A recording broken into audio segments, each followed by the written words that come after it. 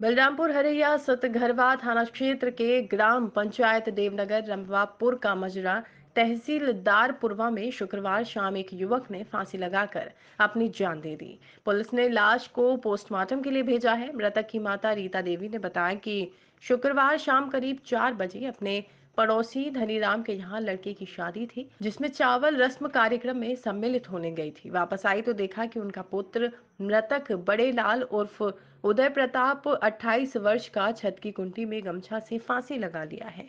मृतक की माता ने बताया कि बड़े लाल की शादी नहीं हुई थी वह किराए पर बैटरी रिक्शा लेकर चलाता था। उसके दिमाग में पता नहीं क्या आया कि उसने फांसी लगाकर जान दे दी। क्या नाम है? निर्मला वर्मा। ये जो कल घटना घटी है आपके कौन थे? मेरे देवर थे छोटे। अच्छा तो कैसे घटना घटी? वो सर मेरे को पता नहीं है हम लोग मायके में थे अभी। अच्छा जब घटना जब हुआ है उसके बाद में हम लोग आए हैं। कैसे जानकारी हुई आपको? अभी इधर से मेरी जिठानी फ़ोन लगाई थी। तो हम लोग को मेरे जिठाने वही चार और बजे लगभग अच्छा तो हम लोग को पता चला तो हम लोग आए उधर से। अच्छा। ये कौन सा गाँव है? ये जो घटना घटी है कल ये आपके कौन थे? वर्मा हमारा लड़का हूँ। अच्छा तो ये कैसे हुआ? हम ना ही रहे घर तो का बताई? कोई हमारे घर पर नहीं रहे। कहाँ गए थे आप? सब पतवा लोग बाटे हैं।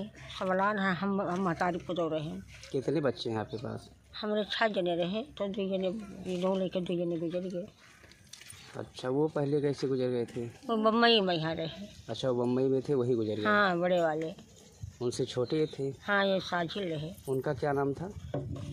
शिव प्रसाद और ये जो गुजरे हैं कल? बड़े लाल। तो आप घर पे नहीं थे? ना ही रहे चावल पर छोड़ी चली गई ना। किसके घर गए थे? वो नहीं। क्या नाम है उनका? नहीं रहा तो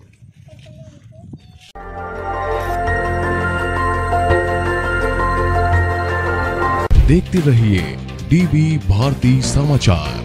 नज़र हर खबर पर।